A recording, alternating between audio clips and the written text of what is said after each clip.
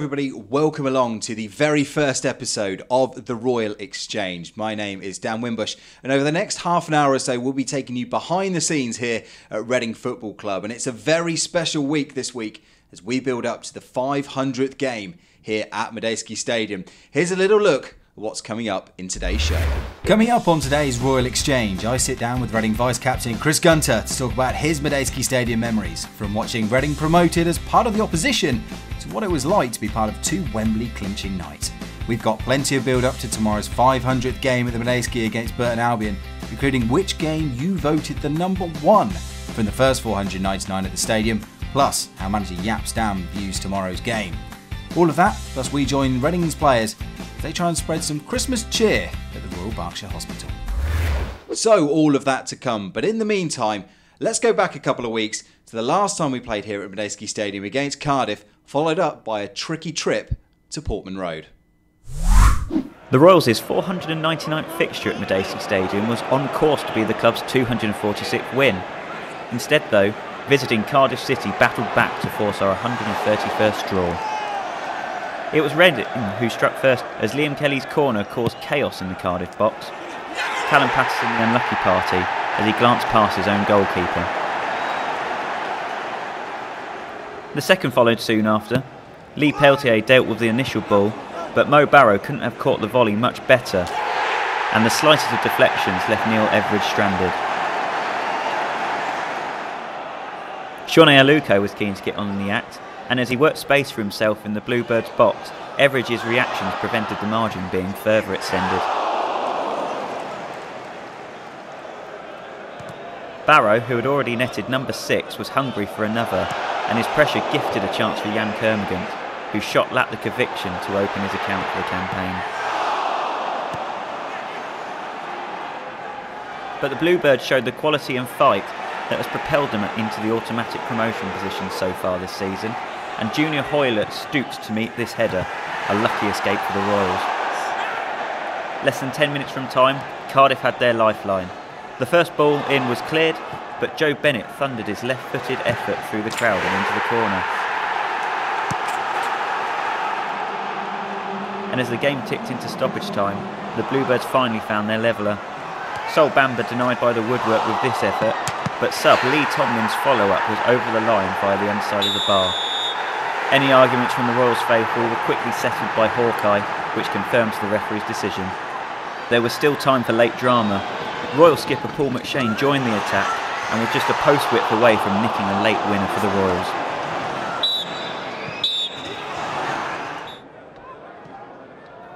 We moved on to Portman Road last Saturday, but it was an uphill struggle from the off. Less than three minutes had passed when Callum Connolly ghosted into the area and drove low inside the near post.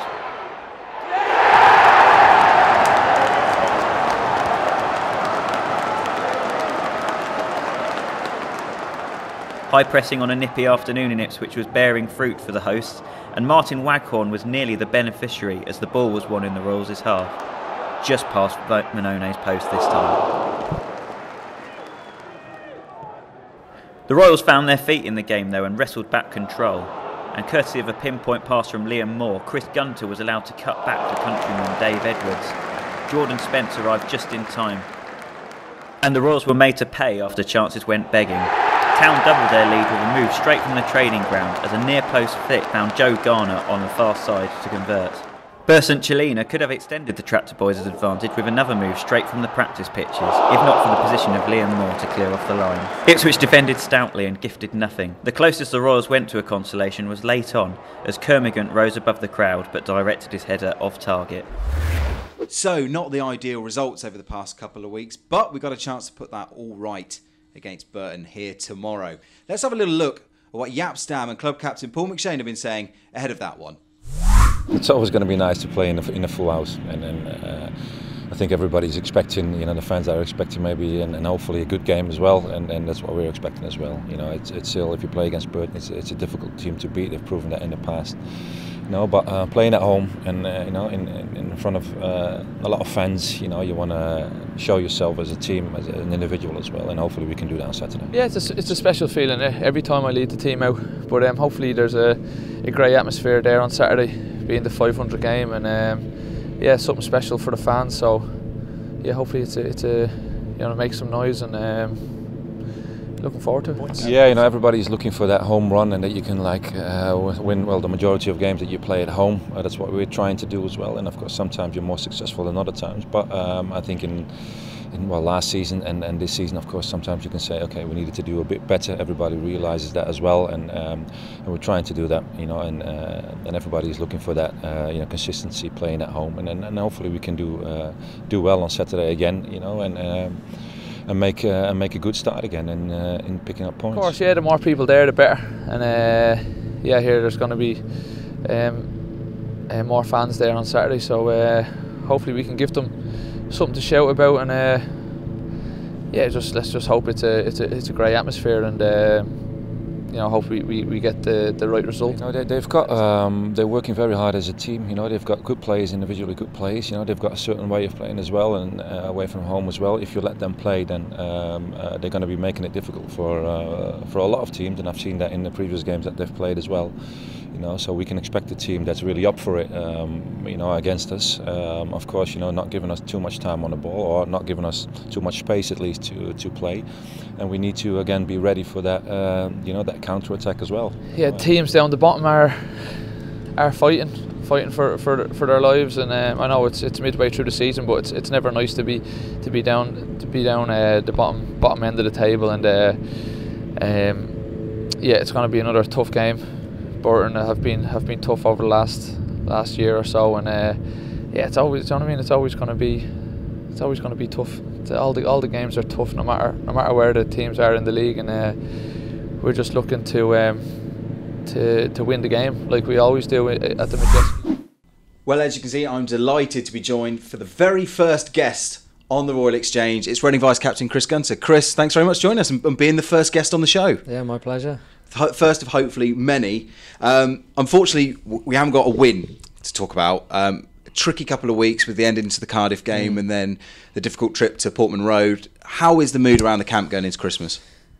Yeah, really good. Um, even though we, like you say, we, we the last couple of games we haven't had the the results. I think for, for the majority of the game against Cardiff, we played really well. Obviously, when you're 2 0 up, it's disappointing to you know to, to concede and, and lose the lead. Um, and Ipswich, again, as we've been saying for a while now, we, we've been playing well, um, and, and, you know we didn't take our chances, and we conceded two poor goals, um, which is disappointing. But in the main, you know, it, it, feels slightly better when you, you do perform quite well. Um, but we know that now our task is to, to put it all together and make sure that you know we, we couple the performances with the results. You were a Nottingham Forest player. Mm on the night Reading won promotion, Mikele Leigertwood scoring late on to send us up to the Premier League. What what is it like being a player in that scenario where sort of the, the, whole stadium almost is you know wildly celebrating and you're just sort of you know on that other side outside looking in? Yeah, it was a strange night. Obviously, you, you know you're coming to a place where they can they can sort of achieve you know the the ultimate really in terms of our league. Um, it was it was quite a big night for us ourselves actually. I think we were we were down the bottom that year um, after two years of of being in the playoffs. Um, and I think we still needed a point or two to, to secure our safety in the league. So as much as we knew we was coming to Reading that you know needed to get the points for promotion, um, you know we needed them ourselves. I think in the end results went for us elsewhere and and it worked out perfect in terms of Reading winning the winning the game and, and I think we were safe pretty much after that night as well. But yeah, it's a strange one because like I say, you know you're coming somewhere where you know they it's the biggest game then of, of they know what they need to do. Um, and yeah well, I mean once the final whistle when you try and go over to the away fans but it was, it was a bit of a bit hard actually getting to them. Um, but it was nice in a way because you know knew a few of the players over the years um, Alan Church and stuff that were involved.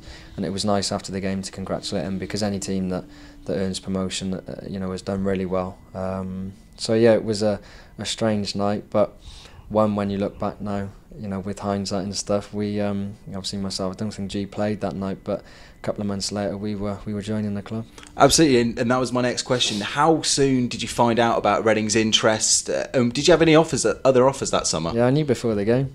Really? No, I'm joking. Oh, um, come on. No, I didn't know. Um, it, it, came about in the summer.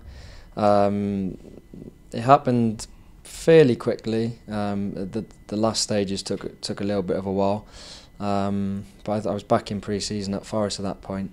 Um, so you, you do hear bits and bobs before, and and once you know sort of the bids are going in, you you sort of have a feeling it may happen. Um, and yeah, maybe because of, of a couple of months before of being here and, and seeing them earn promotion, um, and having that experience of seeing what it meant to them and and playing at the stadium and things like that. Yeah, it was it was nice to to have seen it, uh, you know firsthand, you know when they did when they did get promotion. Um, but yeah, yeah, I think it took it was a good few months after that. Yeah.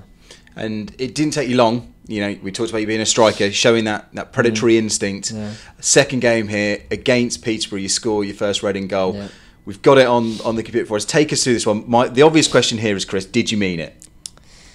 Um, I'd love to say yes. Um, no, it was uh, it was just a, a, ball into the box. I think I'm not sure the score at that time, but we hadn't started the game too well. Um, so it was well, the camera's not even on me. There, I don't even know if I scored. Um, but no, it was left foot as well. Yeah, no, I mean they are the balls if they if they're in the right area and stuff. They they can you know not get a touch and go in. Um, it wasn't you know the most glamorous way to open your mark for your new club, but uh, no, I think we won the game on on that night, and after you know it was nice to you know to have get your first goal, albeit in a, in a cup game. Um, and yeah, it was it was pleasing that personally that was was my first win really for the club. Um, so yeah, it was it's a nice feeling to score however they go in. Had to wait a little bit longer for the second one. Four years later, mm. against your old club, Forest. This time, uh, uh what I want to know is: Has Garath McCleary let up the fact and given you? Has he let you forget the fact that he was the one set it up for you? No, we have talked about it, but I think he had scored only in the first half as well, so it was a, it was a decent day um, for G. Um, funny, obviously, both against our former clubs. Um, this one was, yeah, was slightly better. Um, when you're on the pitch, you you know it's quite close into the goal, and I think the more people I told after, and the more I got asked about it, it, it moved, and think the the tenth person I was telling it, it, it formed to outside the box, and and was an absolute rocket. But um, no, again, that was one where it was nice. They sort of gave us a little bit of a cushion in the game, um, and we was doing well at this point. And and yeah, to to score your first you know league goal at, at your home ground, and like I say, albeit after many years, is is a nice feeling. It's one that you know, being a defender and, and my record, you don't get that feeling too often. So, you know, to win the game, you know, for me, Angie to score against our former clubs was a nice feeling that evening, and, and it sort of was adding to a, a very good season. Yeah, we, this seems to be the era of the you know the elaborate celebrations. It kept it very simple. Didn't no, have one do in you know head. what? I, I, I think you could I could plan any celebration. I would forget as soon as it goes in. It's one that I'm not sure if you're used to scoring every week what it feels like. Um, but no, once the ball goes in, it, it is weird how you you forget some almost where you are. Um, and yeah, just I think at first shock that it's gone in, um, and then before you know it, the boys are around and. And yeah, it's one that I would like to have the feeling more, but I'll, I'll take I'll take any goal I'm given. Hope, hopefully, one on Saturday. Yeah. Um, you know, there's that partnership we saw it there. your partnership with Garath down the right hand side. A lot of fans have really enjoyed that over the past few years. Yeah. How much easier is it for you as a player having someone in front of you that you know so well? Yeah, well, I mean, originally when we joined, again, it was nice that we knew each other. Um, like I say, we knew a couple of the players, you know, when we joined, but there's nothing like you know a, a real familiar face, you know, day to day. Um, so that helped originally, and yeah, we've now been playing together for probably eight, best part of eight or nine years. So yeah, you get to learn what each other's going to do on the pitch, and, and I think we've had some some real good times together here. Um, he scored couple more goals than myself. Only a couple. Yeah, um, but no, it, it is enjoyable you know to play with him. And like I say over a number of years you know day to day you you get to know what what he's going to do. And, and I've always said when he's fully fit and he's he's playing well there's not too many better in the league. Well we are coming up to Christmas one of the busiest times in the championship calendar. What is it what's it like at Christmas for a, for a professional footballer for yourself? I mean what will Christmas Day be like in the Gunter household? Um not a lot I think we're Christmas you get to know that there's not really a Christmas as a footballer. Um, I think we're training sort of mid-afternoon. Um, we'll train, we'll eat together, and then we'll get on the bus and go down to Bristol. So um, no, there, there's nothing too special. There's not much you can do. Um, and again, yeah, it's a busy busy period. Obviously, we play Boxing Day a couple of days later, and then again on on New Year's Day. I think it is. So it's a busy time, but it's one where, in terms of football, you know, people are off work. People love to come to games. It's, it's a tradition in this country that people come and, and watch football. The crowds are generally a lot bigger.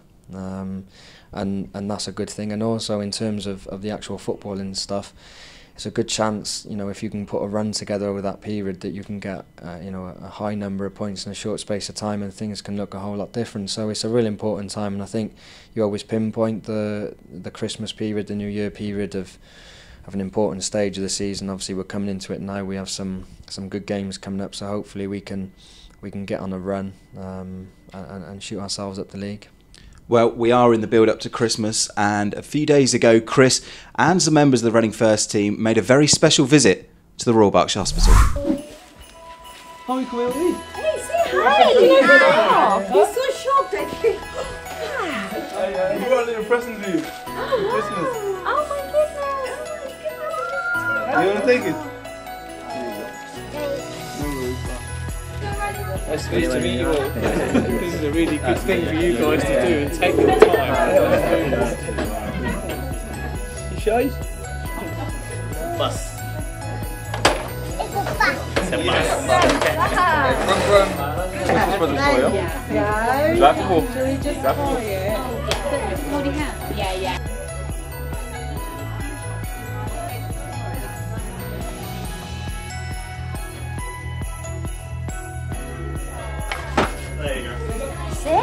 Going to build? You like building towers, don't you? It's your favourite thing to do. Do you want to do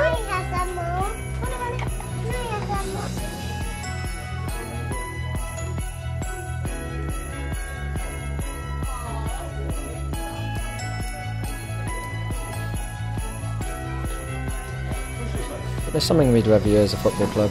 Um, I think it's important for us to to come and if we can bring a couple of presents and, and make people's day for, for an hour or two, then uh, I think being so close to the community as the club are, yeah, it's really important. Yeah, we're in such a, a privileged position. If you can come and, and put a smile on somebody's face, as I said, then it's um, it's a nice feeling. But it's not it's not for us. It's something that we feel as a club is important to come and, and be close to our you know our fans and our community and stuff around the time. So yeah, something that is important for the club to do, and it's, it's an honour for us as players to, to do it.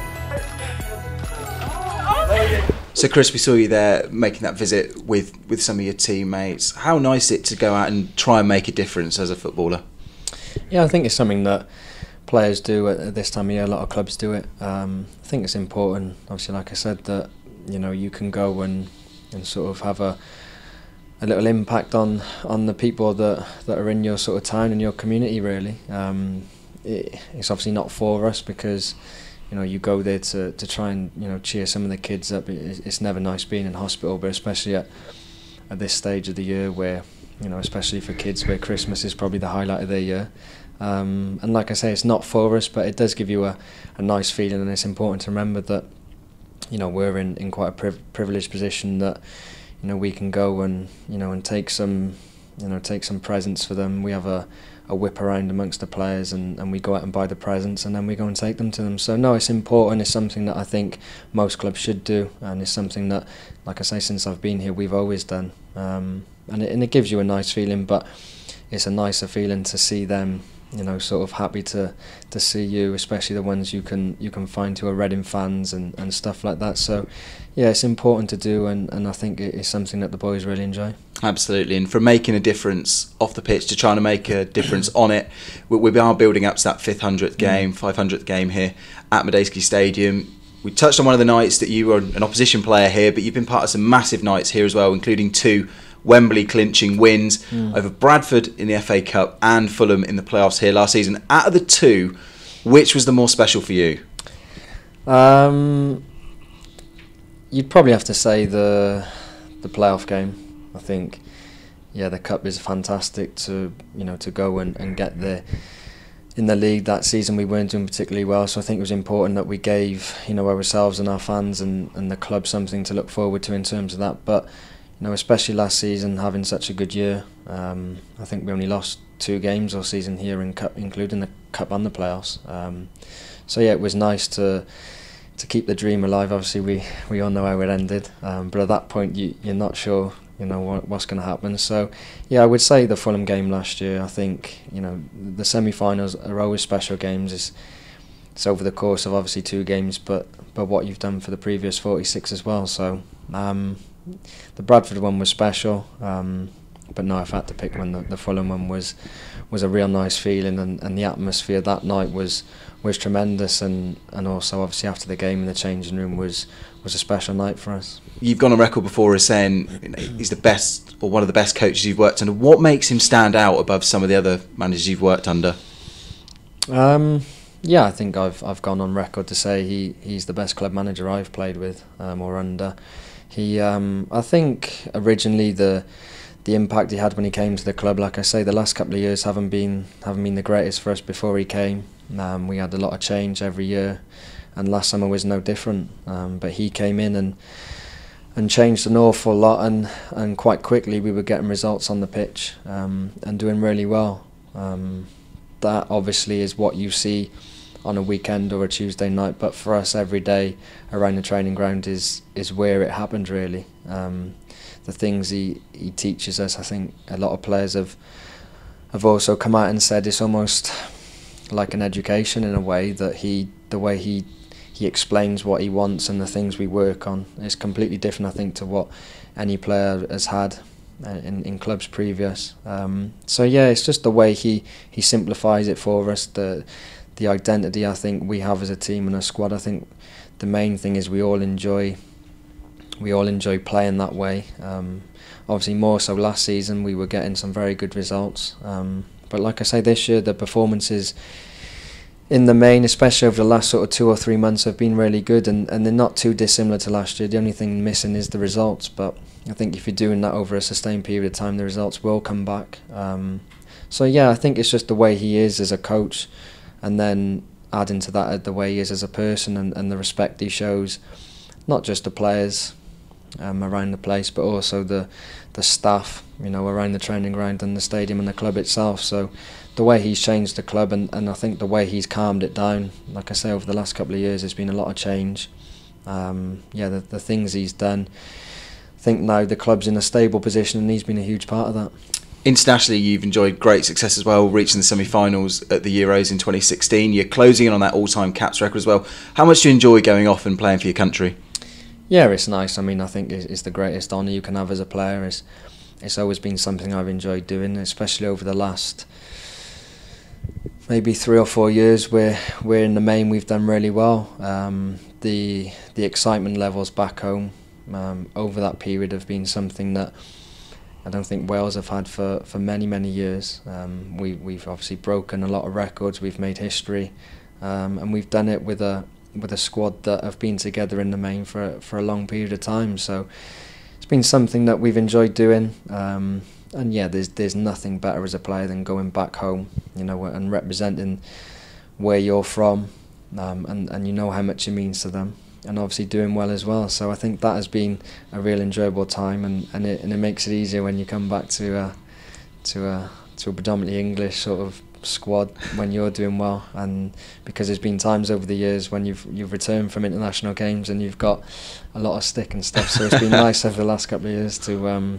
yeah to sort of to quiet them down slightly well that run uh, to the semi-finals in France has been made it's been made into a film and it's been written down now by one of your teammates Dave Edwards in his book mm. as well What's it been like reliving it through his point of view? No, well, I haven't had it yet. Um, You're not? No, he hasn't given me a copy. Um, Christmas present it'll be coming. I am expecting one if he's watching. Um, but no, it, yeah, obviously you you you know we all we all had a, the same experience, but through different eyes really. So I'm sure, you know, when he does um, when he does leave one in my place, and I do get round to reading it, they'll be nice to to sort of relive those. Um, and he's a he's a very intelligent guy, and I'm sure you know he, he's he's he's put that experience you know, into his book, um, and he's done it justice because he, he's a he's a clever guy and he, he's really switched on. So yeah, looking forward to reading it, and yeah, I'm sure he'll be happy with the with the plug we've just given him. Absolutely, and it can be bought in all, all reputable bookstores now.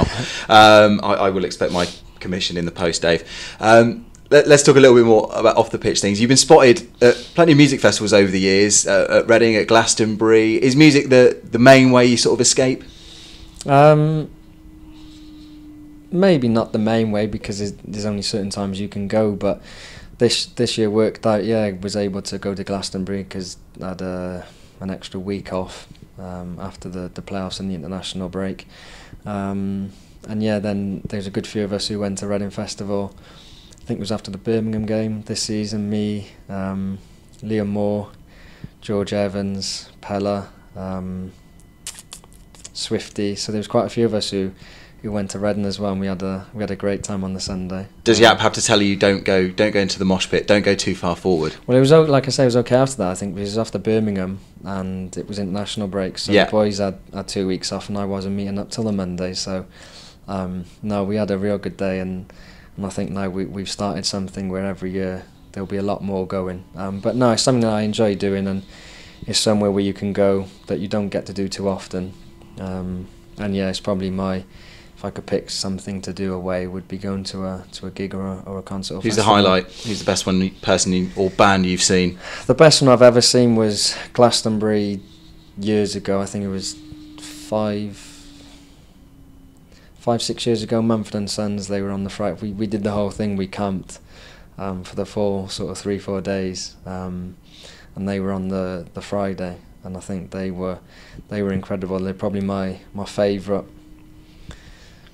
band, if you like overall, which people may be surprised. But yeah, Mumford and Sons were, were brilliant, and they're probably the best I've ever seen live. Yeah, a little bit different from when we had Marcus Hahnemann here, and it's Tool and mm. Megadeth and things yeah, like yeah. that. So uh, no, not going there. Yeah, yeah, maybe good. He'd left the club before you arrived. Um, before we let you go, then a couple of quick fire questions that around this 500th game we've got coming up. Who's the best player you've played with here at the Madejski? I knew this was coming. I was trying to think of the answer. Um, what for Reading? Oh, or it could be a, a, Forest teammate. No, I'd have to go Reading. Um,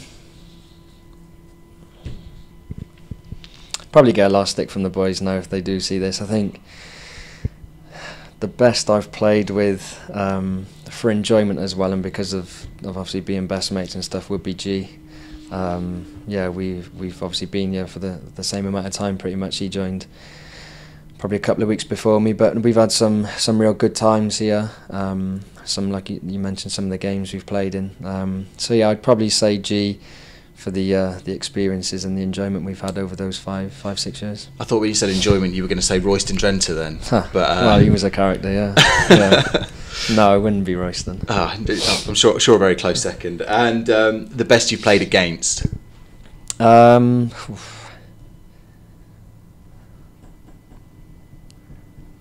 uh, this could be a while, I think. Um, again, probably taking the easy option. Um, the the first year in, in the Premier League when we played Tottenham, I was playing right back and, and Gareth Bale was left midfield he scored that day. Um, obviously, being Welsh, I'm going to have to stick to my roots. So, um, yeah, I'd probably say Gaz, yeah. I must. I, I can only imagine the, the, pre-team briefing where it's like, okay, Chris, you you've got Gareth. Yeah. Try and try and stop him. How how how do you even try?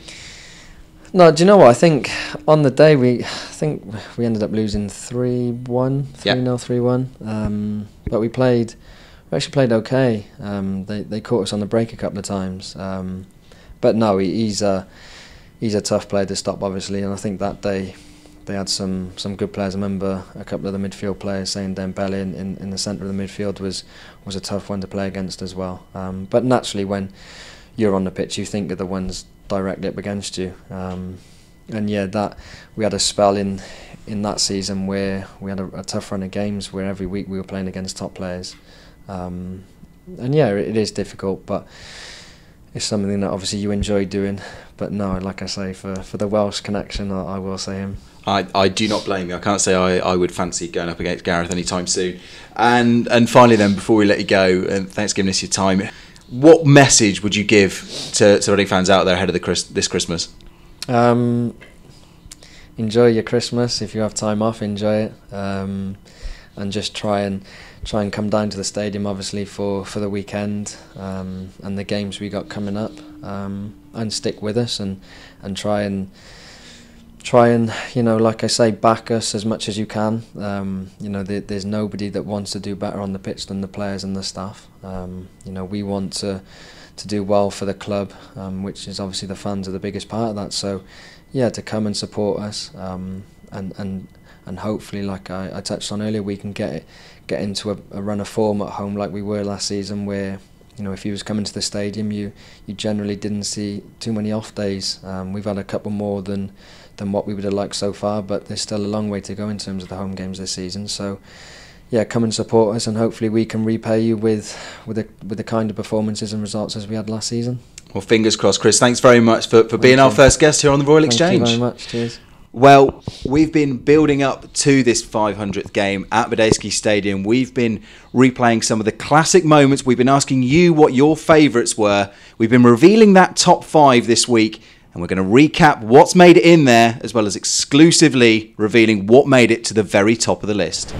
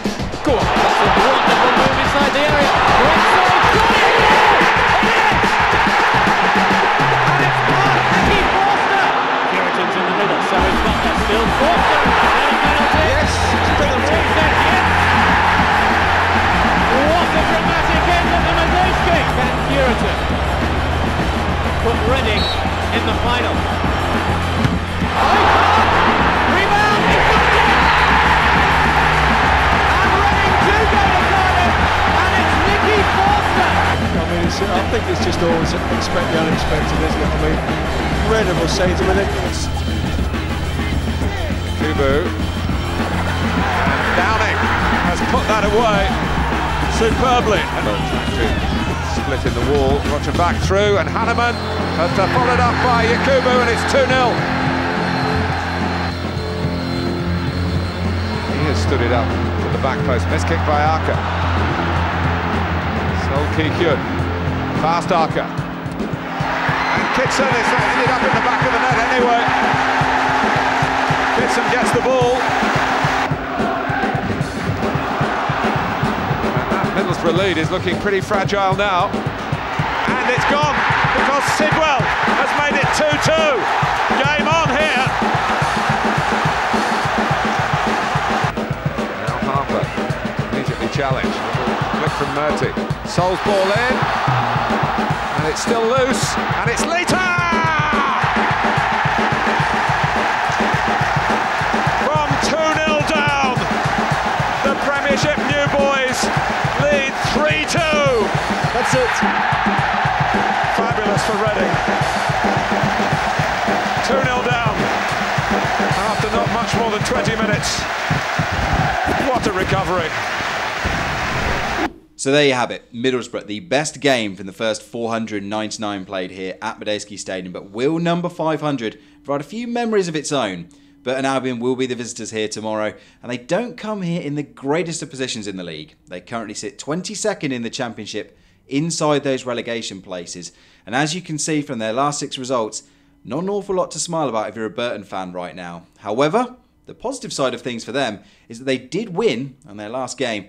That came away at Bolton. Let's have a look at how they got on. Saturday's visitors Burton might be scrapping at the wrong end of the league table, but they have taken plenty of scouts during their time in England's second tier, and Bolton were the latest to fall foul to the Brewers last weekend, who leapfrogged their hosts. The Trotters could have gone ahead through the opportunism of Will Buckley, but he was denied by an acrobatic stop by Stephen Bywater. And minutes later, it was the same Bolton player and the same result as Buckley's first time volley lacked conviction. Ten years ago, and Nicolas Anelka led Bolton were competing in the UEFA Cup, while Burton muddled to mid-table in the Football Conference, and how times have changed for both clubs. Lloyd Dyer was the first to go close for the visitors, forcing Ben Alnwick into a save at his near post. But Dyer wasn't to be denied for too much longer.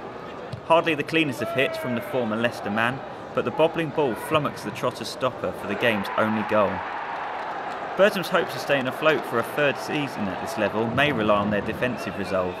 If this is anything to go by, though, they have every chance.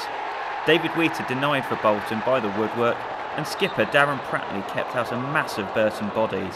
Bolton threw everything forward in search of a leveller, including their goalkeeper, but a late chance was shanked, and the Albion held on for just their fourth win of the campaign to date. Well, if you are planning to make the trip here to Madejski Stadium tomorrow, a couple of pieces of information to bear in mind. The key one get here early. We're expecting a big crowd, and don't worry, we've got lots to keep you entertained before kickoff. For two hours before kickoff, outside the East Stand at the fan zone, we will be showing some of the greatest moments here at the Madstad on the big video screen. And if you're hungry, if you fancy a drink, lots of offers for you to take up as well. So get here nice and early get yourself settled, get a bit of food in you, get a drink, and bask in some of those glorious memories we've been touching on throughout the show so far. But don't worry, if you haven't got your ticket yet, fear not. They are still available and they are priced just £5 for all areas of the ground. So no excuse, get yourself down here and check out what is sure to be a very special day and hopefully three points for the Royals as well.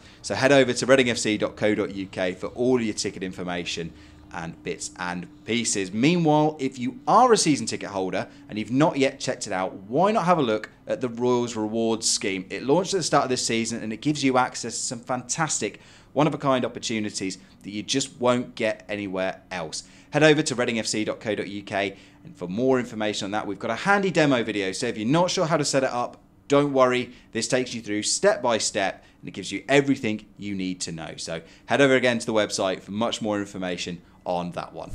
And that just about wraps up the first edition of the Royal Exchange. Hope you've enjoyed the show. By all means, send us in your feedback, tweet us into at Reading FC on Twitter, drop us an email, or head over to Facebook. Leave a comment on this video below. Let us know what you'd like to see on the show, anyone you'd like to see us interviewed. We're more than open to your feedback, so please do get involved.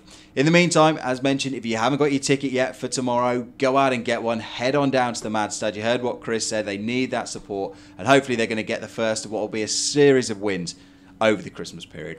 I've been Dan Wimbush. This has been the Royal Exchange. Go on, you R's.